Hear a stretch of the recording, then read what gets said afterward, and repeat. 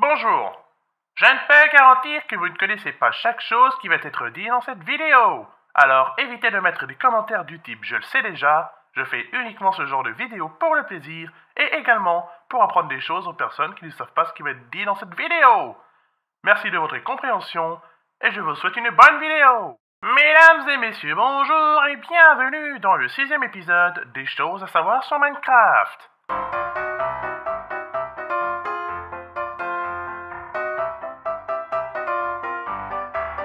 Aujourd'hui, je vais vous citer 5 choses à savoir sur les Blazes, avec à la fin un petit bonus.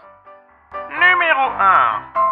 Les Blazes sont les seuls mobs excepté l'Ender Dragon à pouvoir mourir des boules de neige. C'est l'arme la plus redoutable pour un Blaze. Lancez-lui en 7 et il en mourra dans d'atroces souffrances.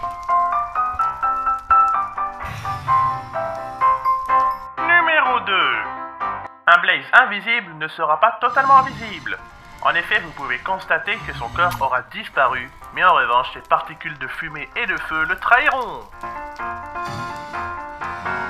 Numéro 3. Vous pouvez obtenir un bâton de Blaze uniquement lorsque c'est un joueur qui le tue. Autrement, s'il meurt de suffocation, de noyade ou autre, il ne donnera absolument rien.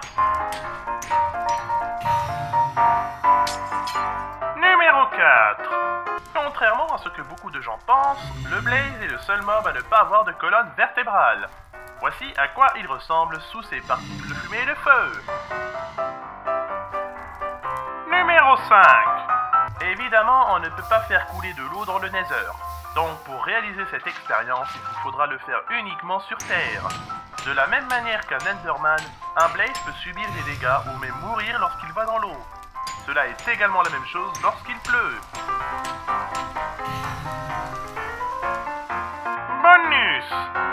Comme les squelettes, les Blazes peuvent aussi se chamailler entre eux. Il suffit uniquement que l'un des deux se tire dessus. Oups, cela ne fonctionne plus en 1.9. Et voilà, c'est déjà la fin de cet épisode sur les choses à savoir sur les Blazes. J'espère que vous aurez appris de nouvelles choses et que ces dernières vous auront peut-être aidé dans vos aventures Minecraft. Sur ce, n'hésitez pas à vous abonner, à laisser un like et à partager cette vidéo. Mesdames et messieurs, bonne journée fire.